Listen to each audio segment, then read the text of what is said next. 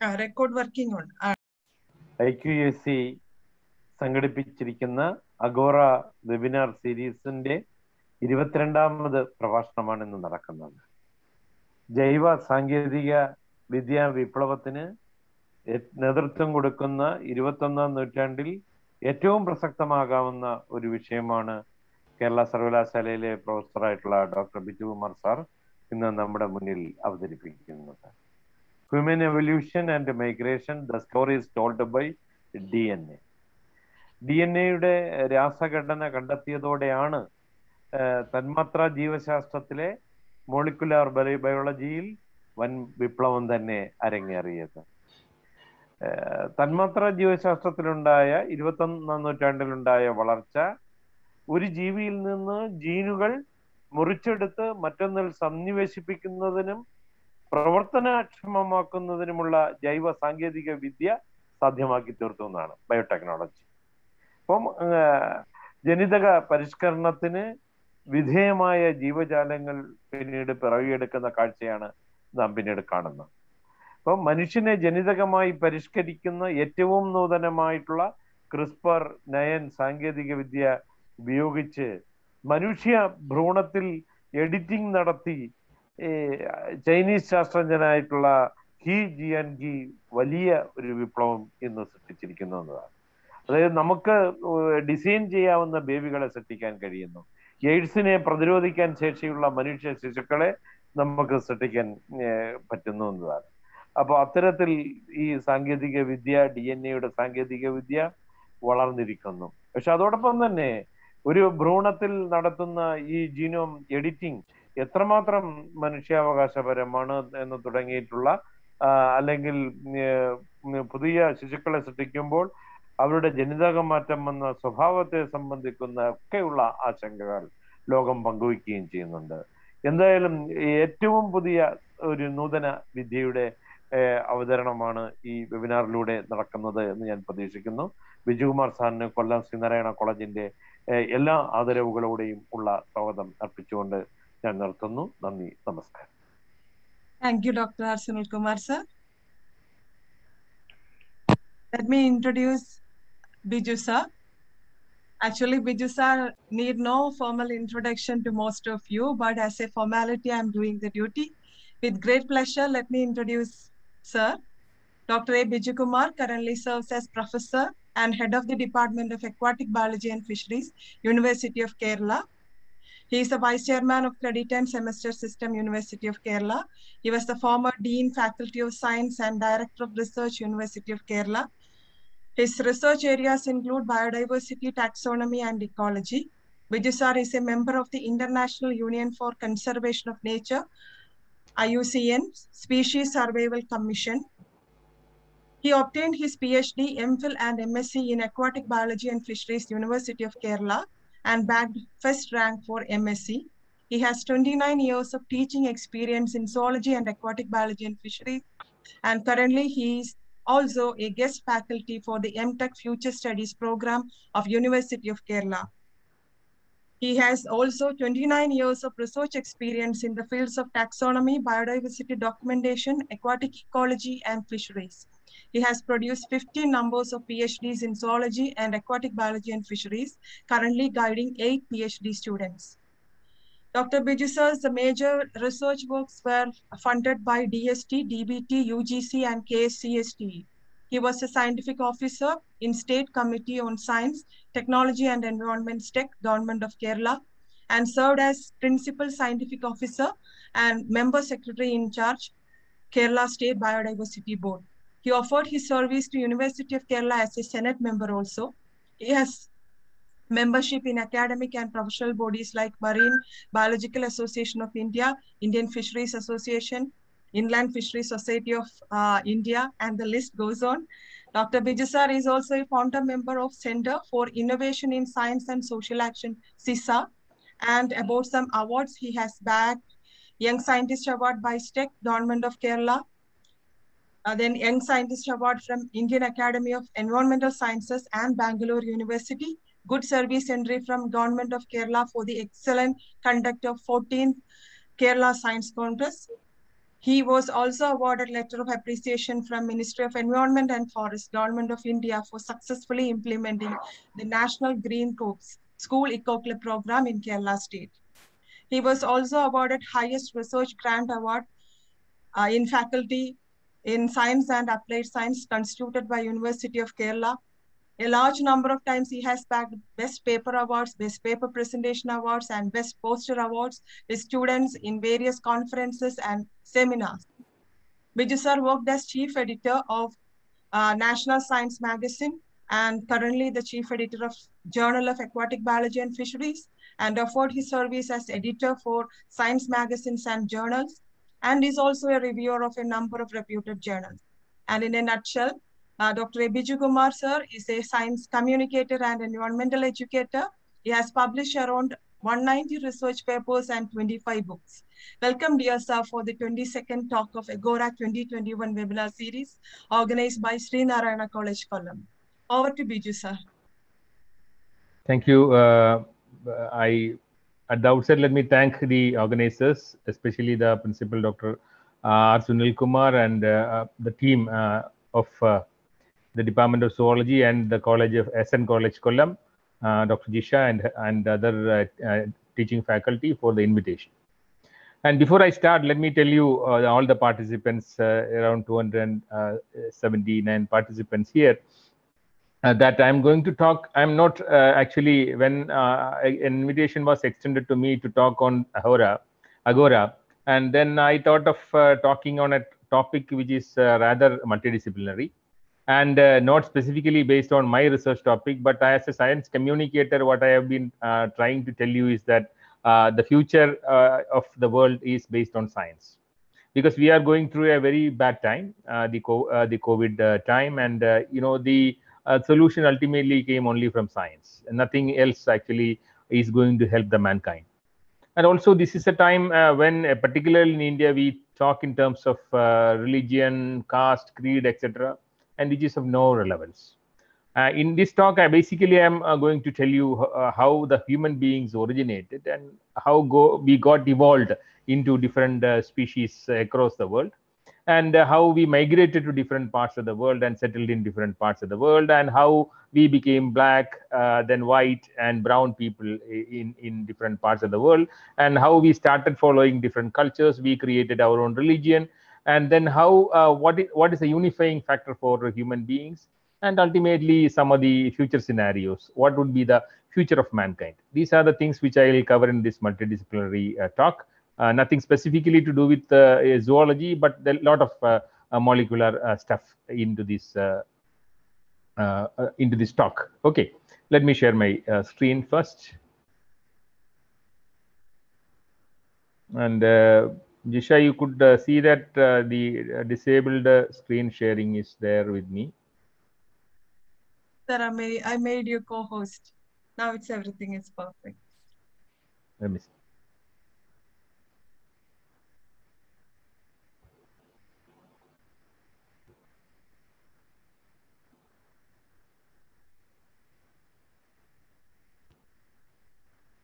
Friends, uh, today I am going to talk uh, on the topic human evolution and migration stories uh, told by uh, DNA.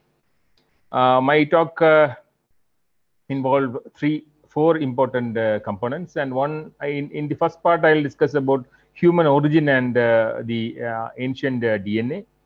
And in the second part, we I, will explain who are Indians. You know, we we call all of us Indians, and who are all Indians now based on the stories told by DNA. And then what is the current status and future of human beings? You know, there are uh, conflicting and uh, interesting views about the future of human uh, civilization. And then uh, what is actually uh, the things which we can do as a human society uh, to serve nature and serve the mankind. These are the things which I'll involve in my talk. So essentially, before I talk about the origin of human beings, we need to discuss about the origin of the entire universe so all the things began from a single atom and begin and began with a big bang, almost 13.7, uh, 13.8 billion years ago. And that is how, with a big bang, the, the universe uh, originated. And if you look at the, uh, you know, the the position of our Earth in this planet, uh, this is almost like this. So in this planet, uh, we are uh, the Earth. The, this is the position of the Earth, and then we look at the Earth, the origin of the Earth. It began almost 4.54 billion years ago, and the first molecule of life began uh, on ocean, the hot dilute ocean, uh, at that period of time, almost 3.7 billion years ago. And the first human beings walked on the surface of the Earth probably 500,000 years ago. That means uh, you know uh, as as the as uh, you know as, as a species our origin or our immediate ancestors origin in this planet started only 500000 years ago when we think about the planet and our planet and our universe. Okay. And uh, let us see i'm not specifically going into the, the whole history of human evolution but let me start with the discussion about the first hominids or the human like uh, uh, you know the ancestors. And our immediate uh, evolutionary family it is com- comprised especially the, the the family the group of homo- hominoids. It's actually a group of primates that include the lesser apes. And the lesser apes are primarily represented by siamangs and gibbons and they are called the great apes. And uh, and and and then the great apes include the uh, chimpanzees bonobos gorillas and the orangutans and uh, if you go by the fossil record, along with the studies of uh, human and uh, the ape DNA, it indicates that humans shared a common ancestry with the chimpanzees and bonobos. And that means the great apes, especially 6 million years ago. If you look at the phylogenetic tree, you will understand that this is a point in which the humans and uh, the other apes uh, got separated. And then you can see a separate origin. And you can see our immediate ancestors are the bonobos and the chimpanzees and our close related close relatives are orangutans and uh, gorilla. And this is a point almost 6 million years ago uh, we got separated from our common ancestor uh, of uh, the uh, chimpanzee and uh, bonobo. That means we have an independent origin from a common root from where the chimpanzees and bonobos originated. And how do we come to this kind of a conclusion based on the dna story? And this is what i'm going to tell you. Okay then how will you understand about the human origin and how the humans originated in different parts of the world? And there is no other way but to explore uh, the fossils. And the majority of the human fossils are available from Africa, uh, from where we believe that the first human beings originated. Okay. And if many of you uh, uh, learn in your school classes or in uh, the uh, PG or degree zoology classes that the human, uh, the the earliest human uh, fossils were uh, from Africa, and then you can see that our earlier belief was that you know the the first Homo sapiens, the fossils which we excavated was from the Great Rift Valley of East Africa, and where we we got some uh, uh, fossils, human fossils, but the recent studies, we got a recent fossil in, in a few years back that is from Morocco. And then that, that region is very, very important because that human fossil was almost 300,000 years back. That means we earlier thought that human beings originated 1.5 lakh years ago.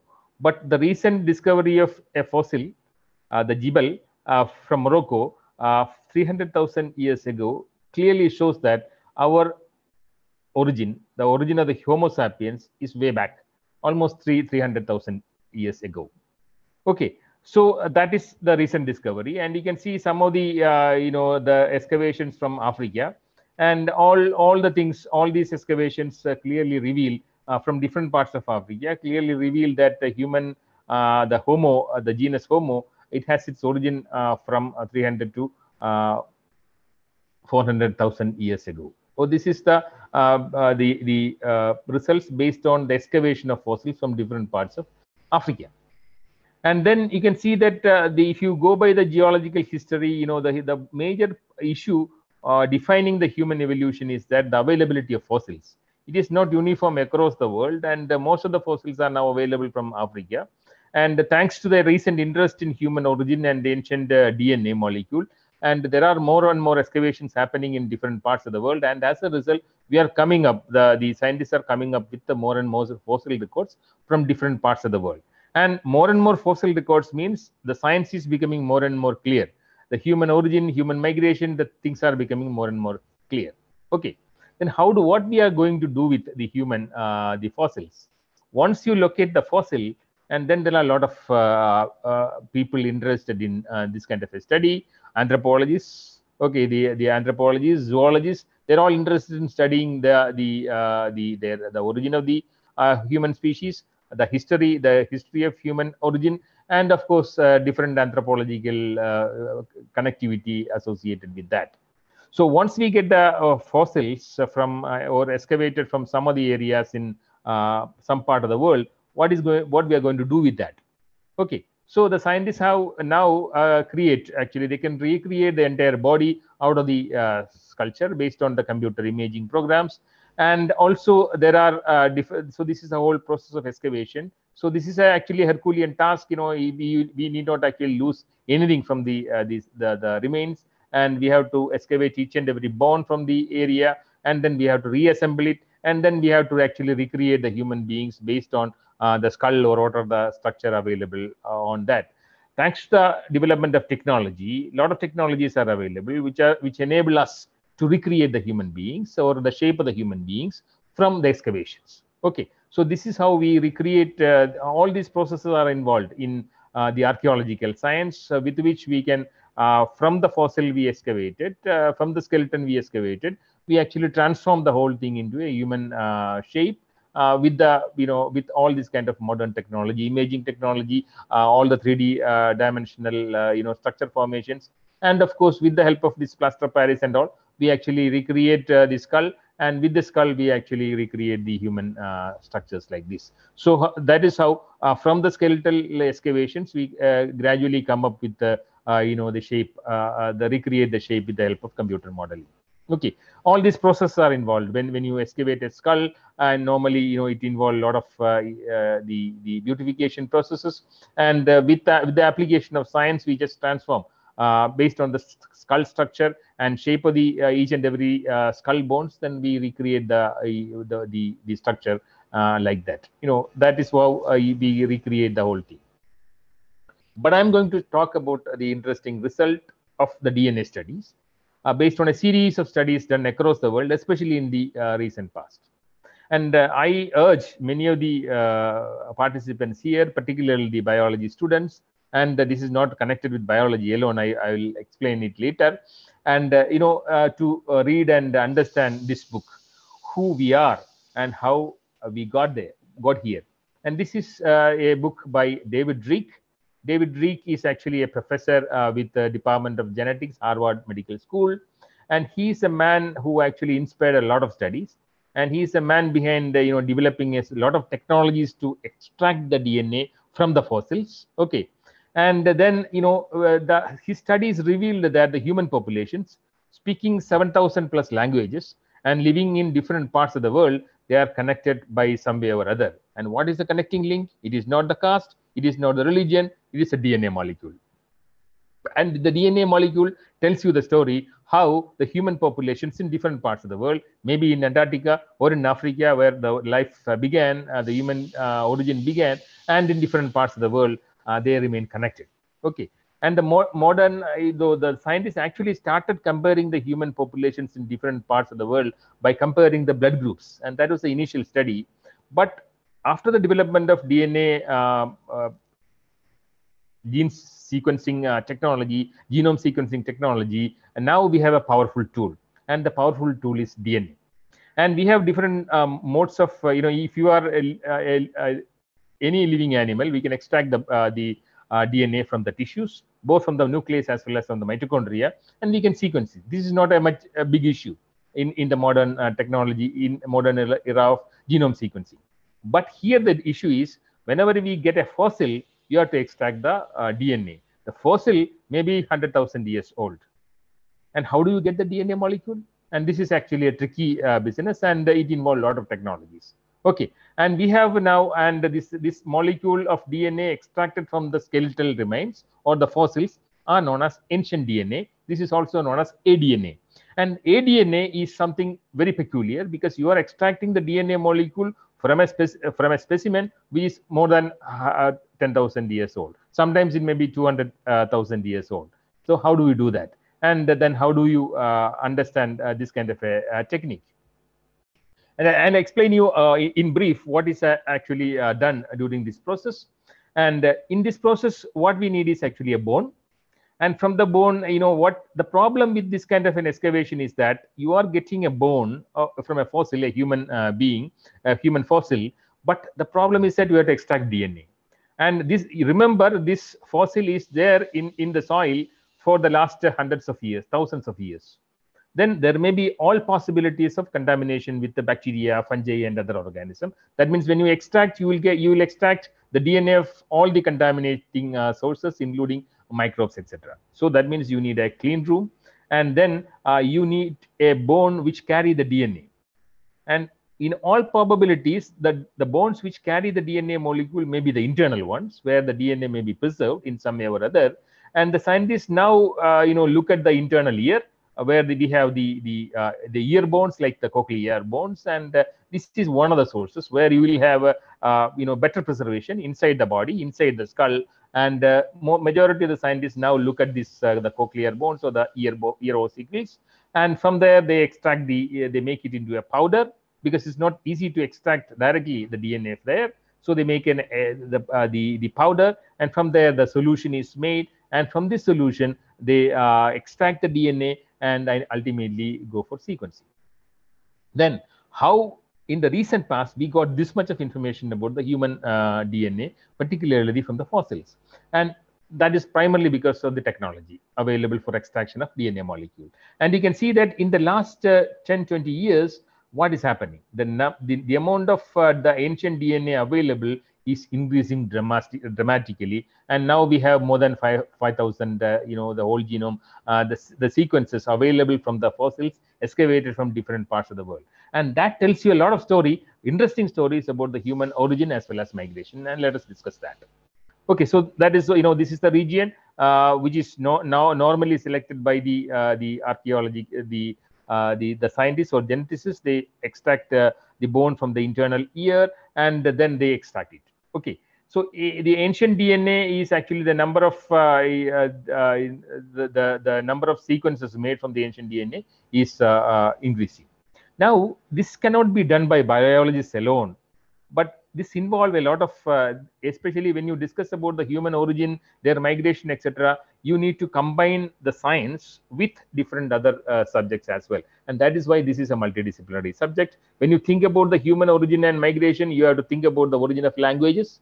You have to think about how the languages spread in different parts of the world and how the the human settlement was there. So you need the support of the historians, the anthropologists, archaeologists, biologists, and linguists so all the services are taken together when you elucidate the story of the human migration and uh, you know their settlement in different parts of the world. Okay, and the ancient DNA and what is actually uh, uh, something very uh, unique about ancient DNA. So this is you know the uh, there are uh, possibilities that you will get good quality DNA from these fossils, especially when it is remain frozen in some part of the world, and then it's we the, the chances of getting the molecule is more but the problem with tropical countries like India is that there is a lot of heat here. So that itself is enough for killing a major part of the or removing major part of the DNA from the fossils. Okay. And the whole uh, studies of extracting the DNA molecule from the uh, ancient DNA molecule from the uh, the fossils started only very in the very recent past. In 1995, uh, they got the the scientists got better results, and uh, thanks to the development of technology, the development of primer, uh, in particularly in 2007, uh, they, the, the postmortem DNA modification and damage became very, very easy. And in 2009, the ancient DNA studies has been revolutionized with the introduction of much cheaper research techniques, uh, particularly the, the sequencing technologies. Okay, and the sci scientists can now extract ancient human DNA from almost 2.4 lakh year old dirt. Okay, the dirt available from the human fossil itself is enough any any piece of dna from the bone teeth hair or any internal body part is enough for extraction of dna thanks to the technologies. Then i'm not explaining the technology but what the scientists now do is they do they follow some medical genomics. So the problem is that the human genome as you can see it's represented by 3 billion 3 million base pairs and we don't require any all the things uh, all the all the genes in human genome. So what the archaeologists uh, or the, the scientists uh, working with ancient DNA, they does is they select the required DNA from the human genome. Okay. So they follow the technique in medical genomics. They isolate that part of the DNA that is most interesting for analysis because they don't select all the genes. They select only the genes which are of historic importance. Okay, and then you know they they they uh, do this kind of uh, uh, the sequencing. They what they do is they wash the DNA in a series of artificially printed out uh, uh, bait sequences. Uh, that means they make there is a there is a device called DNA printer which will allow you to print small sequences of DNA so they artificially print out uh, the uh, bait sequences, maybe 50 liter long ATCG uh, sequences. And then the liquid DNA sample is washed over these baits. And these are nothing but the primers. And whatever required based on the primer, whatever our required genes will stuck to that. And they sequence only that kind of a gene. So this is the method they follow. They, they use baits, DNA baits, and select the or isolate the you know required number of genes from the cocktail so they uh, make a uh, primary cocktail of million genes and then wash the DNA sample over it.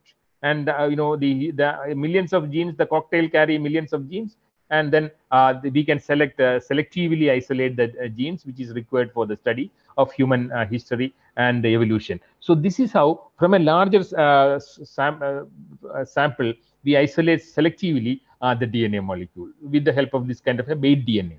So with this, you know, the amount of DNA available in the the, the fossil is very very less. So we uh, from that actually we selectively isolate the uh, DNA molecule required for the study of human evolution and uh, things like that. So you know when you go to the you know the, the process of whole the extraction of DNA molecule, you know that this is a human cell and everyone uh, of us understand that there are 23 pairs of chromosomes and one uh, come from the one is paternal and the other is maternal.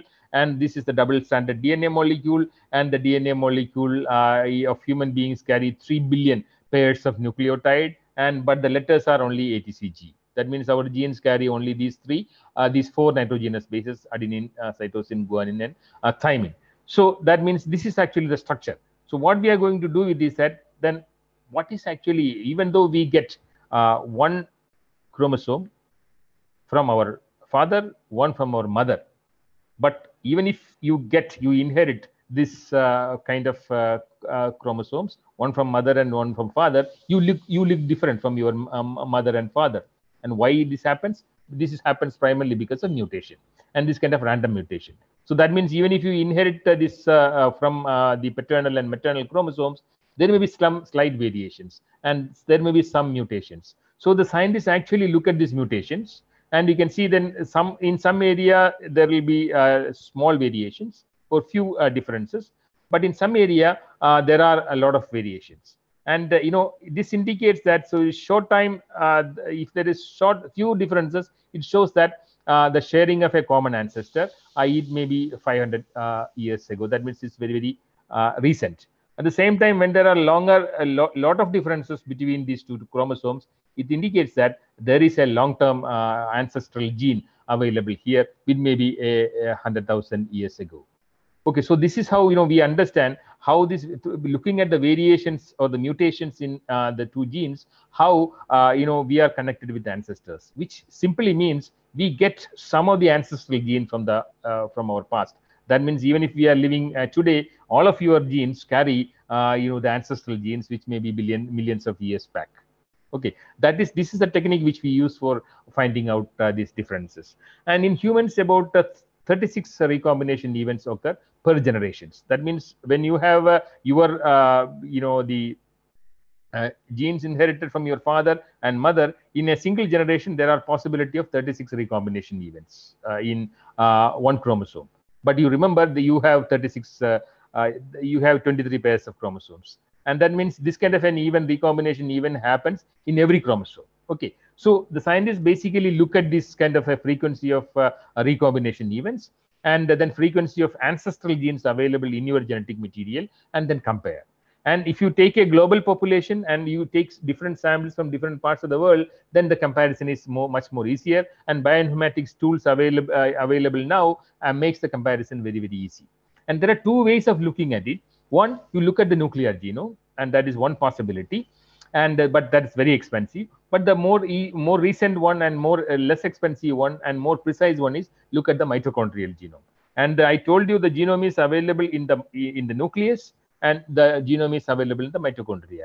Mitochondria the advantage is that you know you have a large number of uh, genes and it is single stranded dna molecule. So it's easy to look at. And also the number of uh, you know this is better the maternally inherited. And as a result uh, you know it's very easy uh, to study the, the the the mutations happening in the mitochondrial dna and that is the reason why in many of these kind of uh, studies mitochondrial dna is actually taken into consideration while we look at the uh, human evolution. Okay and then another thing.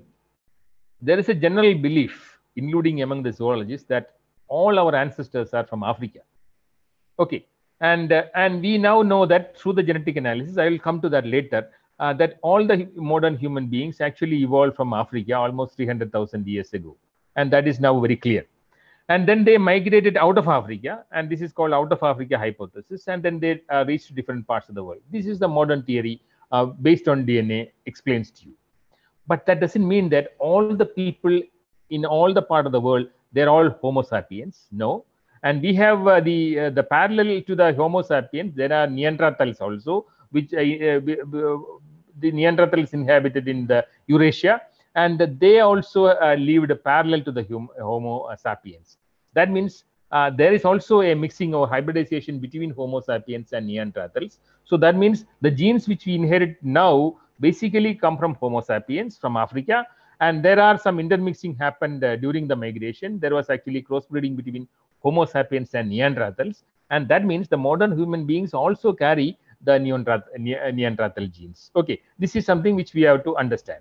And then you can see how uh, this kind of a recombination happens uh, many generations after interbreeding. As you can see, some part of the genes are carried. Okay, and then this is actually the the modern uh, theory. Says we have the modern human beings and the modern human beings and Neanderthals, and the inbreeding occurred be, between the Neanderthals and human beings. And as a result some of the the, the, the modern human beings also carry the ne neanderthal genes. So this is something which you have to understand now. And you can see this is how uh, this uh, this is uh, you know revealed through the study of the fossils especially the neanderthal fossils. And then clearly, clearly all these blue lines indicate actually the genes which we got the human modern human beings got from the neanderthals. Okay. So at the same time you remember that uh, the human beings the homo sapiens were much powerful than the neanderthals. And uh, due, due to, uh, as a result of competition we totally eliminated neanderthals from the, the, the planet. Okay. That is how now we have only homo sapiens as here and uh, you know when the human beings they started migrating from the africa to different parts of the world there were neanderthals also. And then there was in the at this period of time the the crossbreeding occurred. And the human beings the after crossbreeding they uh, you know migrated to different parts of the world. And that is the reason why the africans they have the, the, pure homo sapiens. But the people who actually travel to different parts of the world they carry the genes of neanderthals as well that means you know the eurasians the people in the europe as well as asia they carry 2 percentage of the genes from the neanderthals. Okay. And uh, the modern theory of uh, david Reich, uh, revealed by the the the the ancient dna study consider three divisions of homo sapiens as of now. And one is the modern human beings which is present in throughout the world. Now in africa europe asia and oceania and neanderthals which is not no more there in the world but there is actually the gene flow which happened from the neanderthals to the homo uh, sapiens and recently there is actually an interesting dis discovery Denisovans and we don't know much about this group uh, this group of uh, you know the the fossil recently excavated from uh, some part of Siberia, which tells you an entirely different story. There may be a different uh, kind of human beings existed in that part of the world. But as of now, we know only very little about that. But the studies are coming up to show uh, the different, uh, you know, their genetic composition. Okay. And, uh, you know, then there may be a potential unknown uh, human hominid also in, in, in, in our planet. But un unfortunately, because of the lack of, you know, the, the fossil evidences or ancient DNA, we don't know anything about uh, this group. Okay, and then uh, because of uh, you know the mitochondrial uh, uh, the, the, genome study, which clearly shows that this is the way in which human beings uh, migrated to different parts of the world. That means the original Homo sapiens they, and other related hominids they appeared in some part of Africa, and then they migrated out of Africa. And what actually driven the migration, we don't know.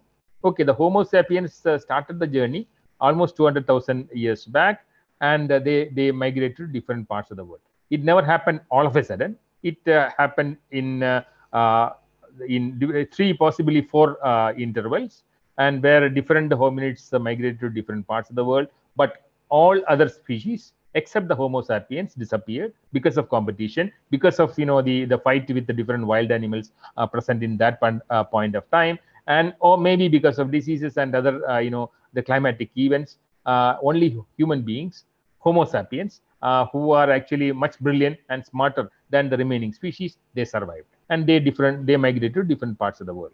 Okay, and then what actually driven the migration? There are different the theories. What actually was the driving force which actually enabled the migration of human beings out of Africa. This is called out of Africa hypothesis.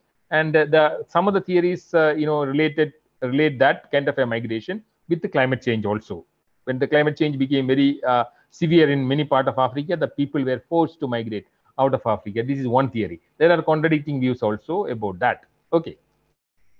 And then Homo sapiens, as the name indicates, sapiens, the name uh, you know given by Linnaeus says they're wise we are much wiser than the remaining hominids and why we, we are more wiser because we have a better brain okay and uh, we since we have the homo sapiens have a better brain we have designed the tools and then we have uh, our own analytical power and reasoning power and we actually conquered the world and that is the only reason. And then there are some other reasons also which helped in the brain development of human beings and the day uh, from which the human beings started eating meat. And we all believe that the human beings are all born vegetarians absolutely nonsense. But the study all the study shows that the start the day in which the human beings started eating the cooked meat which was rich in vitamin uh, b3 uh, con containing nicotinamide. And then that is actually the triggering point of uh, the the uh, human brain development and development of subsequent protein molecule which enabled the humans to develop a much homo sapiens to develop a much better brain. And that enabled us to actually wipe out the remaining hominids and also uh, conquer the world. Okay. And then the you some some of you especially the, the, the students ask a question you know what happened uh, with the you know why the human beings the modern human beings have lesser hair in the body? Okay. And you know it all started with bipedalism the day in which the human beings started walking in the two legs uh, especially uh, 5 to uh, 7 million years ago. Bipedal hominid body hair may have disappeared gradually and uh, it allowed better dissipation of heat through sweating and the development of sweat glands also has to do uh, something to do with the disappearance of hairs. And that is another thing. And also you know uh, the people uh, the, the, the development of the white people in the world. We all uh, basically originated as black people in the planet. And you know the disappearance of the melanin pigment or skin pigmentation. It is almost 1.2 uh, years uh, ago under conditions of uh, mega drought. And actually it actually drove early humans into arid and open landscapes. And uh, and then that is the reason why in 1.2 million years ago under conditions of mega drought when the people were exposed to uh, the open landscapes we developed actually a lot of pigmentation in the body and the people became more and more blacker in order to protect ourselves from the, the ultraviolet radiations of the uh, sun. And the melanin pigment mechanism the genetic mechanism and the biochemical pathway it became more activated and we produced more and more melanin pigment and then the, when the people started mig uh, to migrate in different parts of the world the skin color uh, you know the decreased especially in the northern latitude. And uh, you know in in in the white the, the so-called white people uh, the the whole me mechanism of production of melanin became switched off as a and these people with the white uh, you know because of mutation and uh, these people with the white skin and that is selectively you know uh, then that that naturally that gene got selected during the process of evolution and the white people uh, originated in, uh, in the planet. And or there are large large number of scientific papers which selectively uh, you know tell the story about the the human uh, skin color development in different parts of the world. Anyway these are all interesting other interesting aspects when we think about the human migration.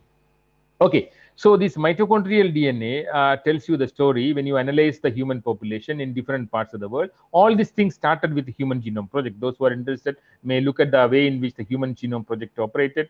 uh, thanks to the development of uh, gene sequencing technology, they started uh, collecting blood samples from different ancient, uh, you know, the people in different parts of the world. They isolated the DNA, uh, especially the mitochondrial DNA, started comparing the, you know, the mutations happen and the genetic similarities. And based on the genetic similarities, we can actually create, recreate the story of human migration about, you know, based on the uh, the biological clock.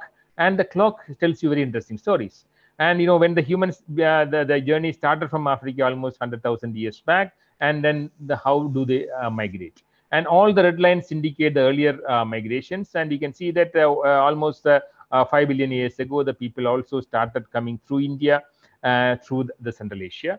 And when you look at the indian population it's very interesting. We have all, almost more than 4600 you know well defined populations in india almost 532 tribes. And out of that 72 are primitive tribes and 36 are hunter gatherers. Okay. And we speak different languages and the different social structure and uh, how do we come? And you can see that ancient uh, the human beings are from the africa. They make they came to india almost 600000 years back. And they came and settled in andaman and nicobar islands and uh, these people are still there. Okay. All these are indians and you can see these are the five groups available uh, in uh, this part of the world. Okay. So, in, if you look at the the current uh, you know Andaman and Nicobar populations, human populations, you can see that, and they were all negritos. That means they carry the African uh, genes with them. And then there are different groups like uh, Greater Andamanese, then Little Andamanese, and there are two other groups, Nicobaris and Shompens, and they have the Mongo- Mongoloid origin. That means they have a different uh, route of their entry into Andaman and Nicobar Islands. Okay. And then if you look at the mitochondrial uh, DNA analysis, and then uh, you can see that uh, they have a different kind of uh, origins and they come from different parts. So two uh, part, two groups are there. One is the Nicobaris, they have the, the Mongolian origin, and then another group, uh, they have the African origin. Okay. And then this is the way in which they traveled. Almost the journey started 100,000 years back, and there finally they reached India. It's believed that they re- reached the Andaman and Nicobar Islands based on the gene studies uh, done in the populations there. It is almost 6,000 years ago the people came and settled in Andaman and Nicobar Islands. Now the question is that means earlier uh, you know the Indians uh, they came through this route, and now the question is how many people or the tribal groups in India share the same genetic uh, you know some close genetic uh, similarity with Andaman and Nicobar Islands the studies done by the uh, the uh, central uh, CCMB scientists in India, they show that you know many of them these are the connectivities, and the connectivity shows that you know the, the there is one group called Rajavanshi in in North India. They are connected with that, and one group in Kerala called Kurumba. They also share some uh, the characters with the Andaman and Nicobar Islands. This is the current estimate. I'm not going into the current caste system and uh, uh, many details are available. Some are very controversial and I'm not explaining that. So remember that this is one group of tribals which have connectivity with uh, in Kerala, which uh, and in the east uh, coast of India, with some connectivity with the the Andaman and Nicobar tribals. Okay, then what are the then who are all the Indians now who call whom we call Indians? Okay, now, the traditional belief, especially uh, with the Indians, is that we are all Aryans, especially the North Indians are all Aryans. That means the Aryans, they have the people originated in India, and they were they are expert in uh, you know the the horse uh, riding, and then they later uh, from India they migrated to Asia and uh, uh, Europe. this hypothesis is called out of India hypothesis. Many people in India believe that this is the you know the history. Okay, including the the linguists and uh, you know then they connected with uh, the development of indo-european languages including uh, sanskrit. Okay they believe that sanskrit originated in india and then it actually uh, you know when the people migrated to uh, asia and uh, remaining part of asia and you then you, to europe it spreads to that area. Okay then aryans they, they conquered europe. This is actually the then harappan civilization in india is also a, something connected with the vedic period this was actually the, the conventional belief in India. But the DNA study totally, uh, you know, uh, discard all these hypotheses and tells us different stories. And these DNA studies uh, tells us different stories, and the stories reveals that the the Indians now they came through different uh, three kind of uh, migration happened uh, to India. I told you about the, the ancient people they, who uh, migrated from Africa and settled in different parts of the, uh, the uh, India. For the time being, we can consider them as uh, ancestral North Indians and ancestral South Indians. Earlier, it can be connected with the Aryans and Dravidians, but the recent study says that you know the South uh, Asian hunter-gatherers uh, that they are called the ancient South Indians. They are the oldest people in the subcontinent and and they are some way or other some part of uh, the population is related with the, the Andaman uh, Nicobar uh, people or islanders. Okay, and the second group of the the Indians actually are the mix with the Iranian agriculturalists. That means this is connected with the Bactria Margiana archaeological complex from where the fossils were you know excavated and compared and then the second group of Indians actually come from the Irani, the, the Iran, the Iran, they were actually agriculturalists and they came to the, the Indian continent and then mixed up with the Indian already available Indian populations there. And they actually, uh, you know, they actually, uh, you know, the, the facilitated the development of agricultural practices in India. And third group is very, very important. They are, they come from the, the, the, the pastures, uh, the grasslands in uh, the called steppe and the steppe uh, people actually come from the Central Asian grasslands, and uh, uh, they, they, that is actually from north of Afghanistan, and they, that part is now currently Kazakhstan, and who were actually earlier known as the Aryans. they came and settled in India, and you know the people who are now currently called the ancestral North Indians basically are the people who come from the Central Asia or the Kazakhstan and uh, you know the mixing of the Iranian agriculturalists and South uh, the Asian hunter-gatherers created the Indus Valley uh, population. Okay, so this is the current belief based on the the uh, the DNA studies. I'll come to that later. Okay, and this Iranian people actually they uh, mixed with the the Indus Valley people and then they migrated towards south. Okay, and then they became the uh, the current the South Indian population and North Indian, the current North Indian population, more white-skinned people basically are the people who uh, mixed with the the, uh, the people came from the steppe uh, pastoralists who are actually better horse riders and they were better agricultural practices. They have all the you know, the uh, uh, the the cultural practices which is now followed by the North Indians and uh, you know the and they have the North Indian groups. The the people who are now called ancestral North Indians basically are the people with a lot of gene mixing with the, the, the people come from the steppe uh, steppe or the, the Kazakhstan. And then you can see that is the reason why we have a lot of mixed population in India. Okay. And uh, you know when when these people uh, came to India, they mixed up with uh, the the culture, and then the steppe population, especially the grassland uh, invaders, they have a priestly caste and culture, and then it, the, the, the, the Sanskrit actually was, uh, you know, the, the uh, their language, the, the Eurasian language, and it also came to India through these people. And that is how uh, the, the, that is also explained by the linguists here. Okay, and then the, what is actually the proof? And, you know, when the sequences are made out of the 140 Indian groups, and you know many of the north indian brahmins uh, they carry the genetic similarity with the steppe population and uh, which clearly shows that what we call uh, the the North Indians, majority of the upper class North Indians, basically are the peoples who who uh, came uh, from uh, the uh, Kazakhstan and the the steppe people, and then you know naturally they mixed up with the lot of people here, and even the the people who actually with the ancest the ancestry, and then they suggest that there is a mix mixing of the uh, population uh, of uh, the the Eurasia with that. But in 4,000 year old DNA molecule, the fossil was actually excavated recently from Rakhigarhi in, in Haryana. But strangely, uh, that has more connectivity with the you know the genetic uh, makeup of the South Indians, which clearly shows that the people in North and South 100,000 years back, they freely migrated and then they crossbred. And uh, that is why they have a, a different uh, kind of uh, genetic machinery available.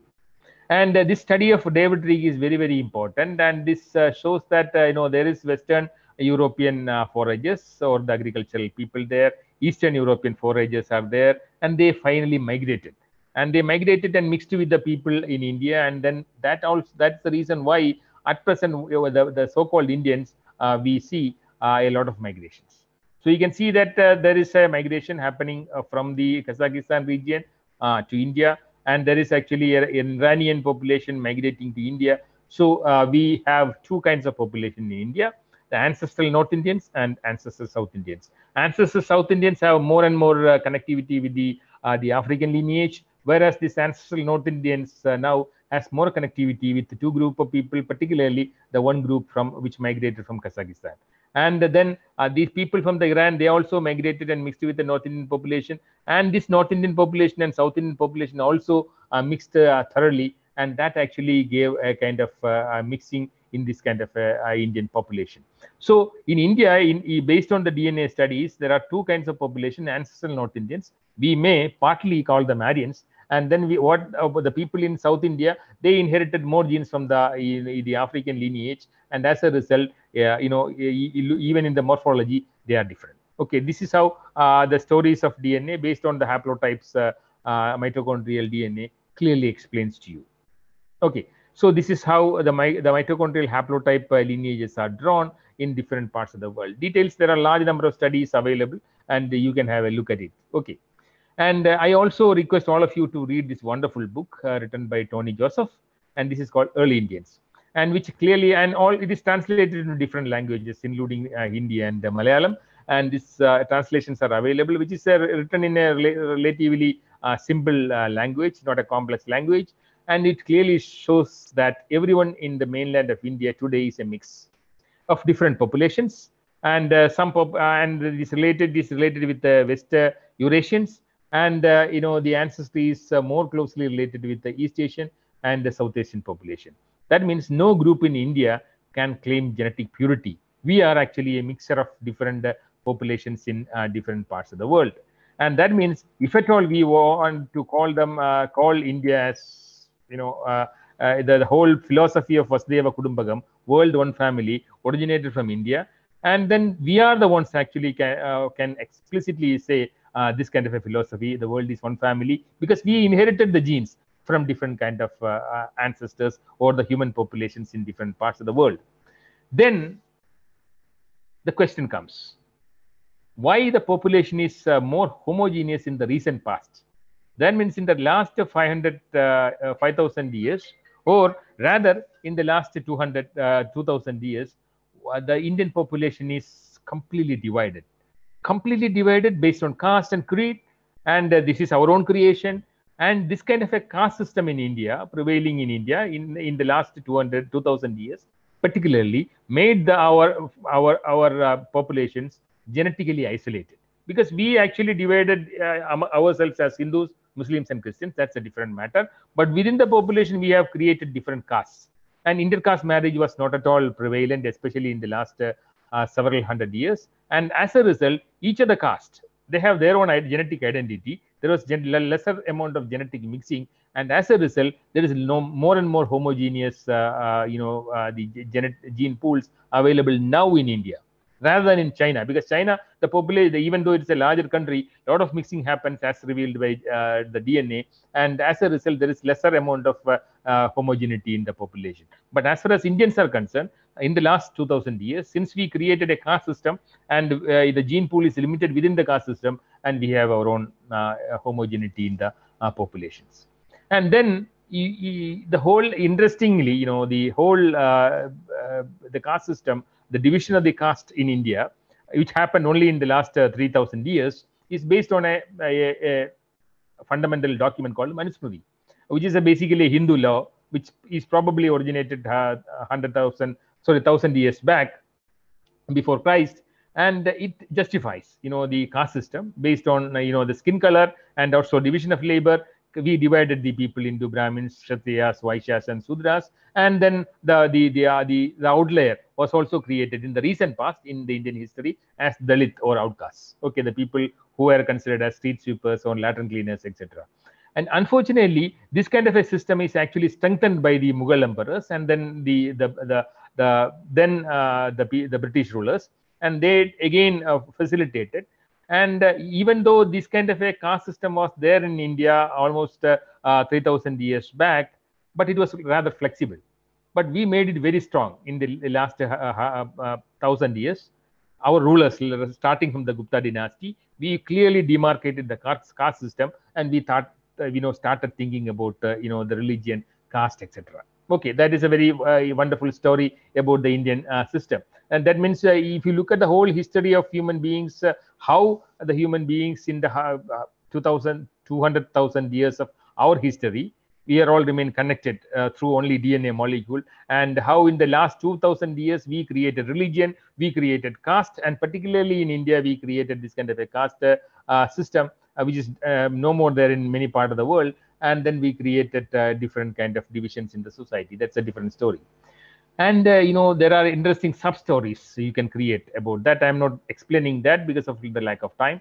And uh, you know the, the the the discovery of the tool system itself actually uh, uh triggered our development because when we started eating the meat uh, and then it became very very common and that also uh, drove the human evolution and uh, uh, because i told you already the meat how it contributed the protein molecules uh, which enabled our development and uh, the Neanderthals uh, diet uh, consists of 80% meat. That means we were primarily, you know, the meat-eating people in the in, in, the past, and then only we became a, a vegetarians in the later part of the our history.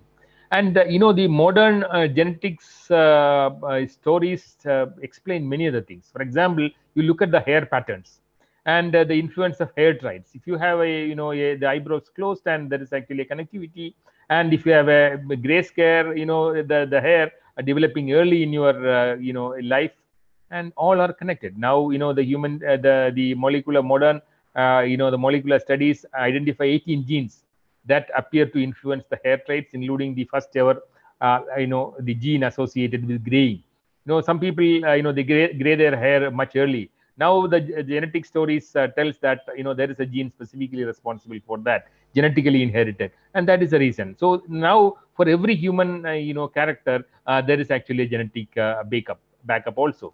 And then the, the people in in uh, eurasia europe and asia they inherited a lot of uh, ge some, few genes from the neanderthals. And that is the reason why the human the population in this part of the planet are more susceptible to diseases because we got some uh, genes along with the Neanderthal genes also, and which made the population susceptible. And if you look at the, you know, the way in which we inherit the immunity, the people in, you know, the Homo sapiens, you can see there is genetically pure because there is no mixing of uh, Neanderthal genes. But the people in, in, in many part of the uh, Europe and Asia, they have more genes inherited from the Neanderthals. And that is the reason why and the, the population here are susceptible to diseases. They are less immune to certain diseases. That is also a very interesting study revealed by the mitochondrial DNA analysis and haplotype analysis. And you can see the people in America, they also have, uh, you know, not the pure America, the Africans, they have the, the, the Eurasians migrating back to the America, American continents. And they're also susceptible to uh, diseases. You can correlate with uh, the recent uh, disease outbreaks also. So far, I explained, uh, you know, uh, what is actually the connectivity between the genes and the human uh, origin and uh, migration. It tells you a very simple story that human beings are all have a single origin. Okay and um, uh, we have a lot of connectivity with the people in africa. And then we created our own um, ways of religion and all. If at all there is something to connect the human beings in the planet it is only the dna molecule. Okay and now, what would be the future of human beings? And there are a lot of uh, interesting uh, books available. And this is a recent book, one of my favorites, uh, *Sapiens* by Yuval Noah Harari, which tells you uh, three kinds of evolution after in, in the in the recent past. Okay, after the human origin and its uh, migration to different parts. And first thing he considered, the Harari considered, is the cognitive uh, evolution, some kind of uh, the revolution happened in our intelligence and which enabled us to read, write, and think. Okay. And second is the agricultural revolution, which finally settled uh, the human population in different parts of the world, especially along the river basins. It happened 10,000 years back.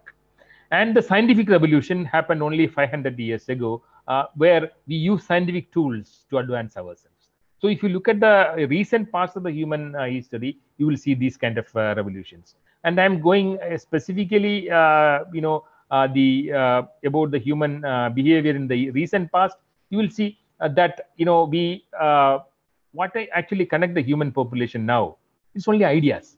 No i speak something i develop an idea i develop a hypothesis i talk to this uh, talk this to different parts of the world and then we all inherit it.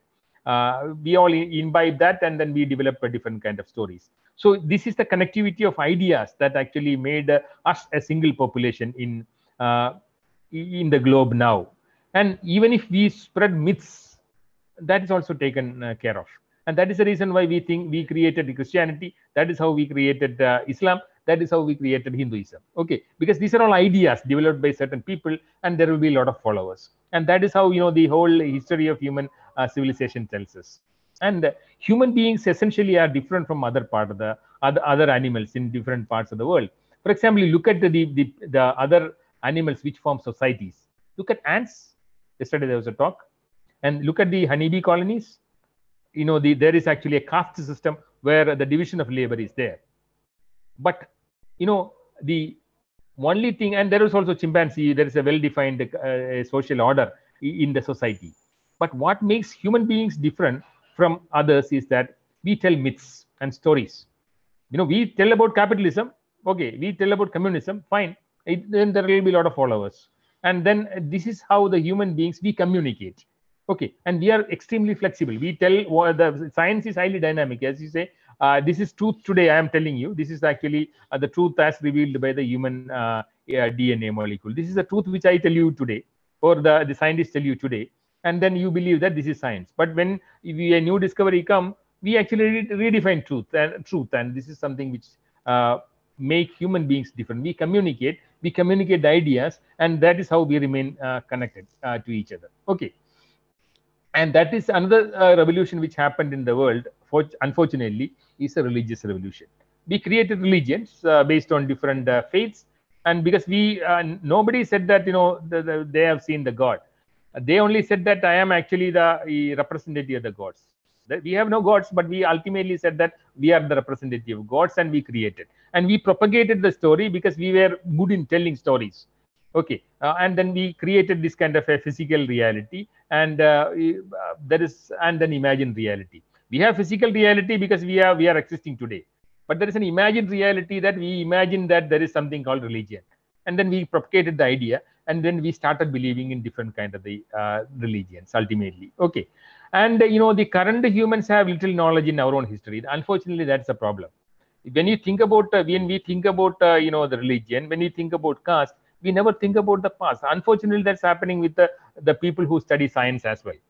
Okay. When we think about uh, religion when we think about uh, caste and the creed and we never think about uh, the science behind that you but i, I am not uh, saying that you should all become atheists no okay you should not believe in god i never said that but the problem is that when you think like that you also uh, should be uh, should apply the common sense uh, to think about the history, how we came, how we originated, and uh, what is actually the nonsense we are speaking about religion and uh, uh caste, creed, etc. Okay, that is the reason why the study of biology is more interesting because this connects all of us together.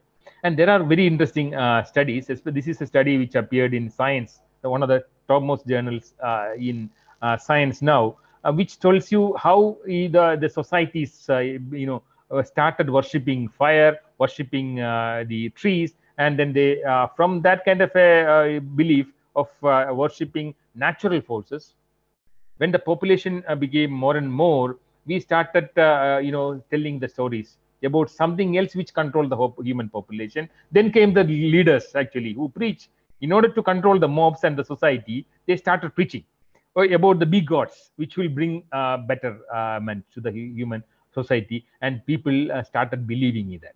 And this this paper you have to actually read the the, uh, the paper in uh, the science uh, which appeared in 2005 the, how the societies got bigger. And when the societies got bigger when we have uh, the leaders who tell that you know there is something else called god which actually is actually controlling all of us. Okay and when the complex societies proceed you know then we started moralizing gods. And the societies became complex when the population you know increased. And then when we started migrating and settling in different parts of the world we got a lot of free time to think you know. This was not the earlier case when we were hunter gatherers. We were afraid of the, the, the animals surrounding us. And when this when we settled and uh, done agriculture i know the food was there uh, ensured. And then we got a lot of free time.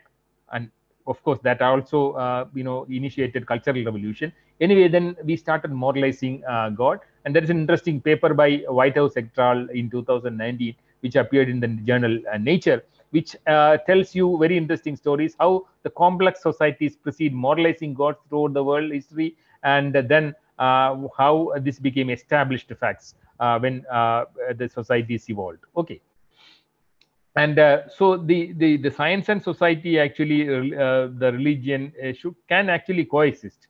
And this is an interesting statement by uh, um, john paul ii which clearly says that science can purify religion from error. That means you can believe in a religion no issue. You can believe in a in religion no issue. You can go to the church or temple no issue or mosque no issue. But don't believe in superstition because the, the the the the importance of studying science is that it should actually purify the religion. If it is a mistake actually you should be bold enough to say it's a mistake. If you uh, it, it is not actually an opportunity to you know spread the uh, you know the the uh, superstitions about uh, many things in the world. Okay. So uh, the that also happened uh, with regard to india and homo sapiens are very special unlike other animals. We actually do business. Okay. We also created money okay and we also created agricultural revolution and uh, from uh, multiculturalism where a lot of civilizations were there. We are actually trying now to uh, you know uh, create monoculturalism.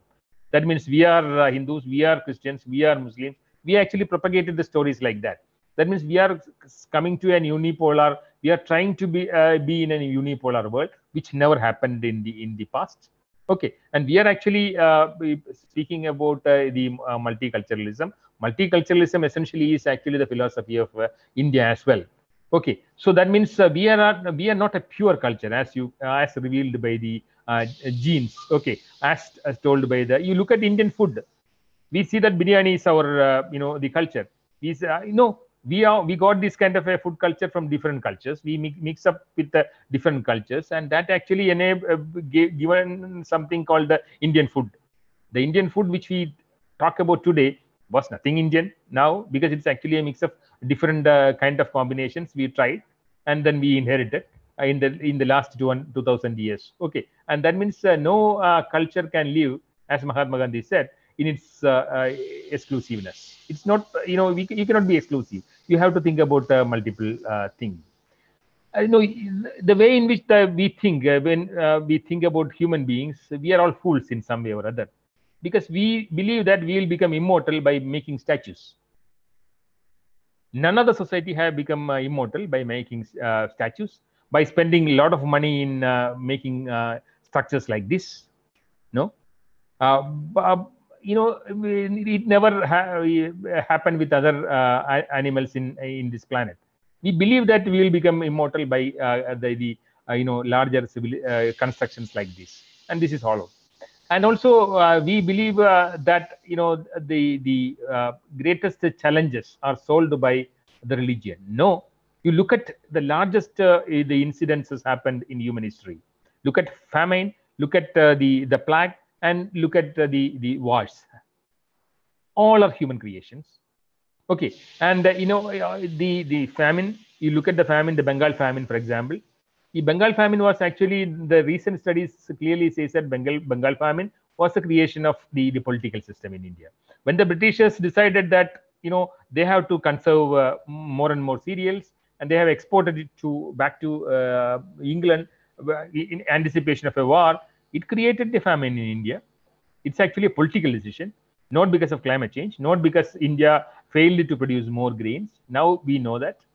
Okay, and plague and during the time of uh, you know we are now living in the uh, in the world of covid and you know then even the, uh, in the time of covid we believe that uh, the the religions and the gods created by us will come as a savior no only science came as a savior and war all the wars are created by human beings just to sell our arms or just to satisfy our ego. That is happening across the world. And all these things are our human creations. And but the the the the, the solutions actually came uh, from uh, from science only. So when we go ahead when we plan ahead what is the solution? The solution is very simple. Believe in science but at the same time you have you can be proud of your culture You can believe in your uh, God, no issue, but apply common sense when you think about the human beings. And th- there is actually, we are all have the same kind of ancestors. We are all remain connected. But what is the future? The future is not technology.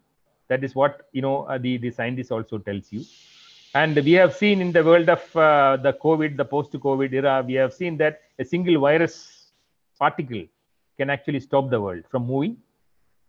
And then came uh, the vaccine, which we believe that uh, it will save uh, the humanity from uh, all kind of destructions. But the neoliberal policies which we uh, follow, we ultimately many of the political systems across the world ultimately believe that this kind of an open policy the neoliberal policy will ultimately help us. Trade is the secret of success. That's a new belief. But the post-COVID era, we have to think that this is not the success. The human beings, if we wanted to succeed as a civilization, what is essentially done to be done is to believe in ourselves, believe in the human potential, believe in our connectivity, believe in our relationship, believe in our potential to exceed as a single uh, unit. We have to actually we have seen in the post-covid uh, era that what has helped the mankind to to you know recover from this shock is our mutual dependence our collaboration. And that means we have to be more and more compassionate in in future in the post-covid era when we also have to think about what gives the human beings more happiness.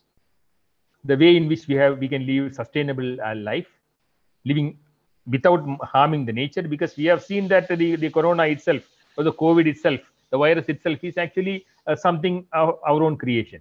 Because we have destroyed the forest systems uh, the, the, the, the, the virus got a chance to mix up with the human population and spread early. Because we are connected to each other the virus which which originated in, um, in china got spread to different parts of the world. Because we are actually traveling uh, across the world like anything. It's a global village. So in order to think about the future one we need to understand that the human uh, species are something uh, you know very unique. We are we have the responsibility to save the planet.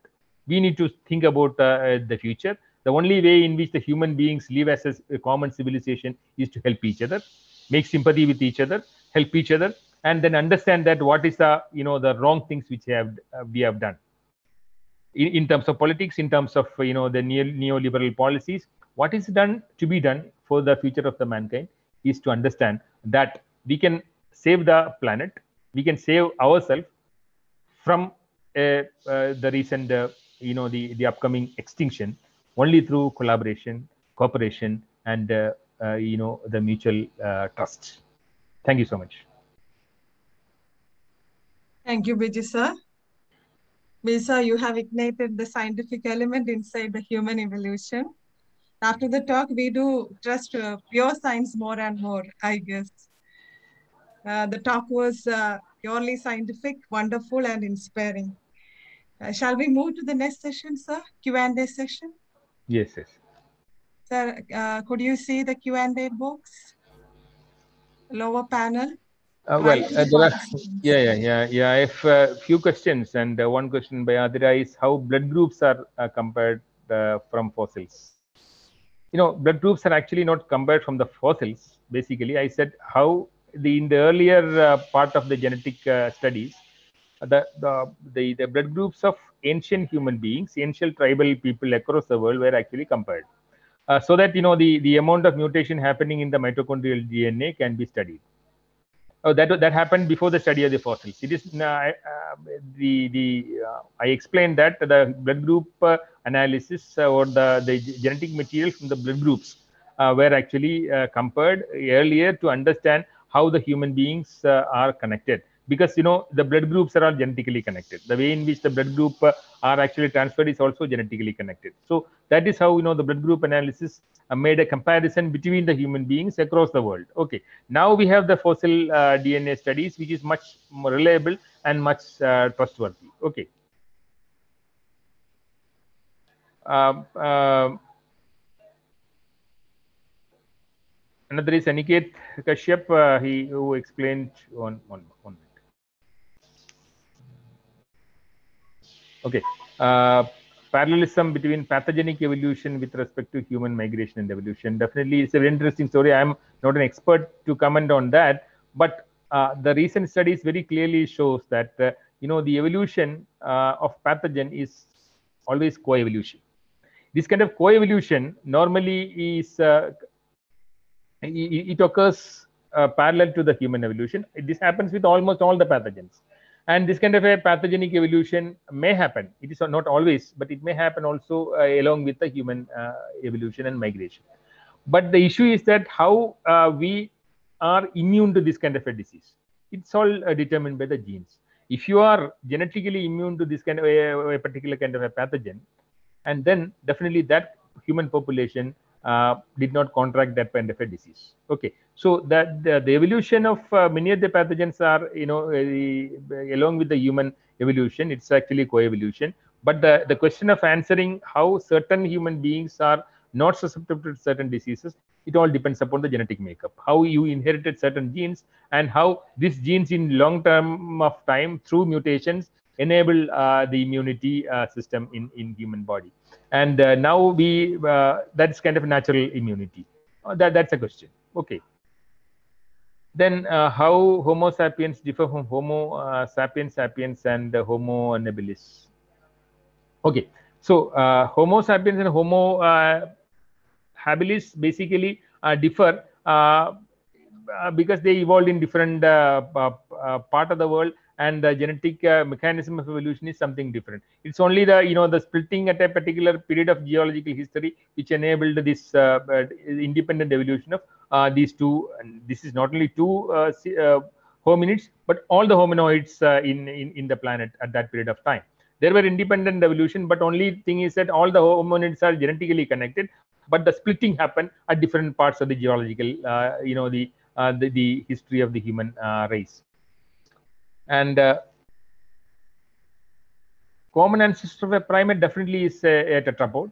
Okay definitely is a tetrapod. And uh, you know the the uh, the tetrapod uh, is uh, the common ancestor of all the uh, primate and the human species. And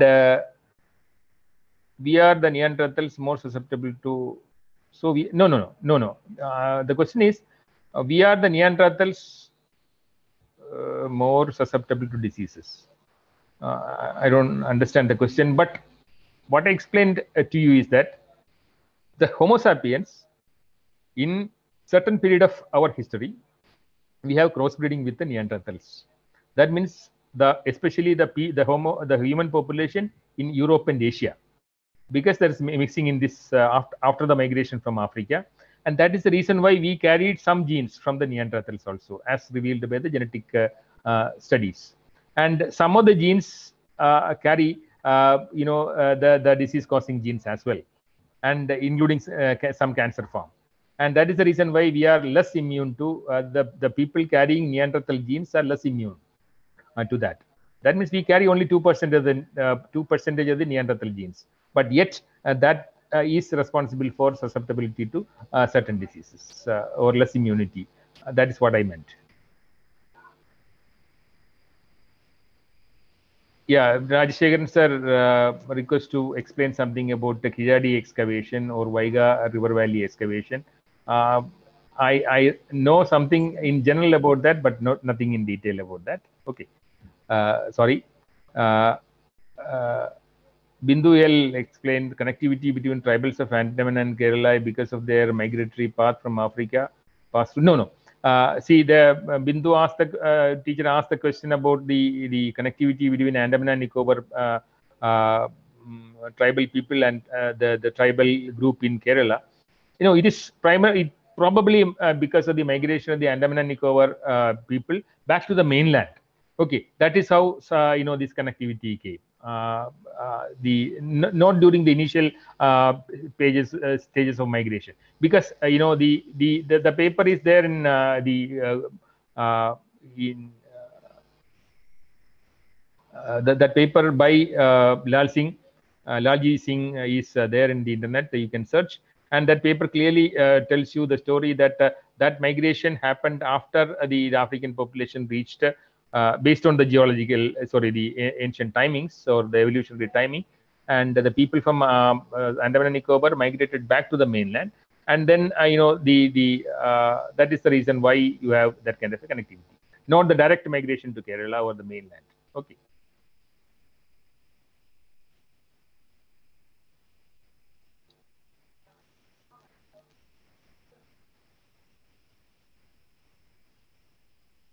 Well, Jinu asked a question, you know, uh, religion, myths, caste, or uh, science is above all. No, I ne- never said that, you know, the, the everything is answer can be answered with science.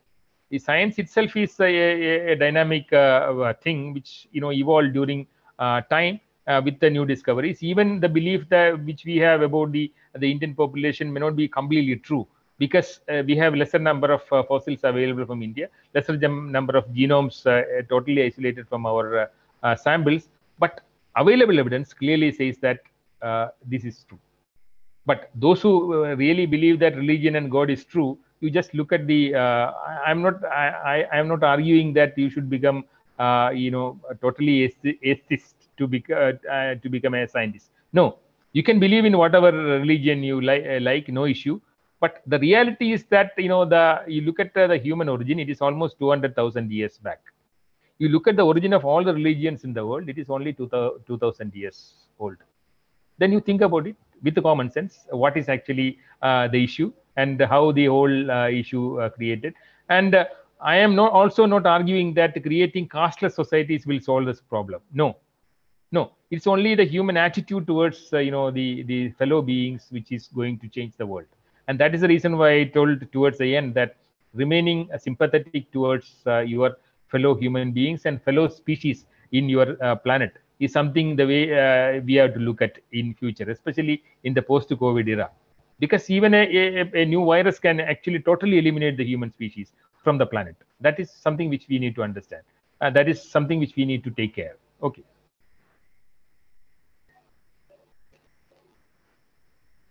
Uh, by viewing monuments created by ancestors they are definitely smarter than us. No doubt Uh, they are smarter than us uh, in the sense that you know many creations came with hand. There was no much machines available. Many of them uh, were uh, you know were uh, our own creations. I am not arguing that they were not smart. They were smart primarily they were smart and that is why we are we are here. Okay but they have started you know they have created larger monuments primarily to mark their presence in the world but the modern society also make this kind of larger monuments in order to make us immortal. That is why you know uh, we are doing the foolishness. We cannot become you know if you have a, hundred thousand uh, crores with you and if you spend that money to make a statue and spend that money to uh, make a, a larger you know corridor for nothing in order to you know speed up your journey that is not the priority in the modern world. That is my argument. The priority in the modern world is actually to make the people more happy give them all food material to eat give them all shelter or house to eat and uh, give them comfort. Because you have a small lifetime and then make the people. So the technology can also make you happy but that doesn't mean that technology will solve all the problems technology will be there. You know you are going into the world where artificial intelligence is actually the future artificial intelligence will actually play a very very important role. Then our responsibility too is to see that we are not becoming addict, addictive to the technology. At the same time we have independent thinking and belief and then we make ourselves happy. And doesn't believe that artificial intelligence will make you make us happy. That is actually the argument. Okay. Then uh, explanation on the races of human evolution with reference to the continental drift and plate tectonics. Okay. Uh, entirely different uh, uh paradigm uh, in that uh, plate tectonics basically you know the human evolution human migration all happened after major kind of the tectonic movements. At the same time the there were actually the migrations happened along with the geological evolution also. So if you look at the human uh, migration specifically, it all happened uh, as uh, after the larger continental drift and the tectonic movements and uh, there were only small changes which happened uh, relatively in the geological past and that is the reason why we cannot directly connect it with uh, the human migration and if you look at the last migration of human beings into some part of south america and north america it happened mainly because of climate change and some kind of tectonic movements which actually you know uh, enable the human beings to migrate to these kind of continents. Not a serious uh, issue connected with the continental drift, I believe. And if you can correct me if I am wrong. And uh, another uh, question from Abdul Rasak. Uh, this message has to be disseminated to our society, to the younger generation living in eternal present. Uh, yeah, but I am not speaking specifically about a particular religion, but it is applicable to all the religions. And if you look at the 20th century, we are actually now shifting ourselves uh, uh, in, and we are actually trying to separate ourselves in the in the name of religion and caste. But if you are a true biologist or a, a, a, a knowledgeable person you understand uh, try to understand our history. That is my argument. If you try, try to understand our history you will not actually argue in terms of religion and caste. And that is the reason why the human the modern uh, the teaching even the zoology you know if you teach zoology i am i am sure that none of the zoology classes will deal with uh, this kind of an argument where there is a multidisciplinary dialogue uh, where which involving uh, you know the anthropology perspective linguistic perspective. And if at all uh, this is there uh, if this is there then definitely uh, this is going to actually change the way in which we look at the, the, ourselves the human beings at least you know where we believe that we are all connected together um, uh, Rajkumar has a question, sir. Uh, have you studied the uh, ancient DNA of the cranial and the brain of human uh, sapiens and the Neanderthal fossils, other than uh, their morphology? Who is more intelligent between them? See, uh, absolutely no issue, and there are large number of studies. the more intelligent is definitely Homo sapiens, and the reason is very simple. We have a, a larger brain um, and a larger skull to accommodate that. All these things are actually a lot of scientific reasons behind that, including uh, the, the, the, the, day in which we started eating meat and this vitamin B3 molecule triggered the development of large number of other proteins which enabled the development of brain, which actually triggered the analytical uh, power of uh, human uh, species. Okay. Well uh, interesting question is another uh, how uh, whether we evolve we evolve further. The next step of evolution. Uh, see this evolution uh, normally happen millions of years in in the gap of millions of years. Definitely we will evolve. You look at your body and compare it with the homo sapiens 2000 years back. Lot of changes. And there are interesting uh, studies. If you look at the another interesting book by harari homo deus he explains the, another another uh, Homo sapiens called Homo Deus, uh, who is actually much much brilliant than us, uh, with a lot of uh, you know the the uh, technologically much advanced than human beings. It is always possible. You look at human posture. You know, the, when you sit long time with the computer and mobile, that itself will create you know the postural changes in human beings, and the exposure to the technology itself will change a lot of part of your brain, and that itself will change. So that means there is a there, there is an evolution possible not in the immediate past but in the uh, in in in future. There, is a possibility of evolution and also there is a possibility of creation of a uh, lot of uh, human beings. Uh, by accident itself you know because designer babies your principal uh, uh, explained about de designer babies. Now we the, the chinese scientists have last year created a designer baby you know but they were it is actually part of a, the gene therapy exercise, but still theoretically it is possible to create anything now, anything, uh, any living organism out of the uh, DNA molecule. That is theoretically possible. So because of the ethical, uh, you know, the, the restrictions, that is not happening. So it can happen. Uh, you know, that means you, you can also create an artificial human beings in the near uh, future. That's also possible rather than the slow evolution, which will take millions of years.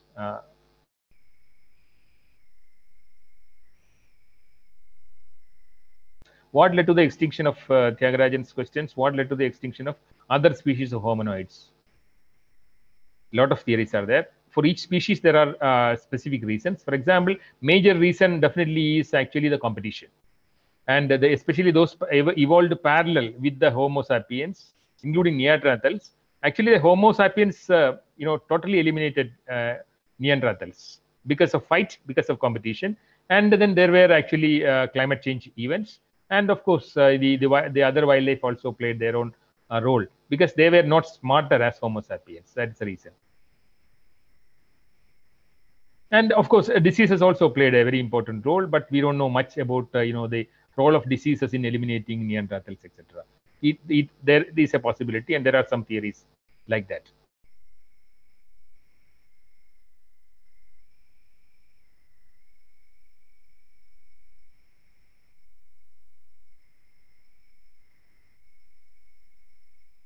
somebody saw a guava fruit in a jackfruit tree and uh, it's uh, god's creation.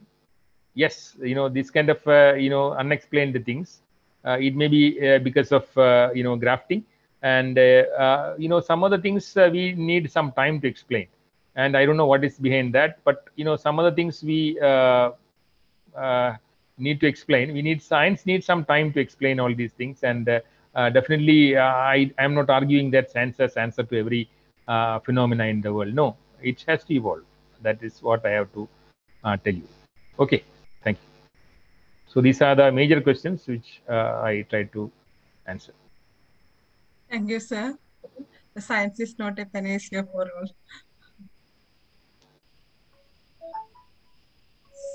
Sir, shall we shall we bind up this session? yes sir. Yes i Now I request uh, Dr. Divya PS, Assistant Professor of Zoology, SN College Kollam, for the formal vote of thanks.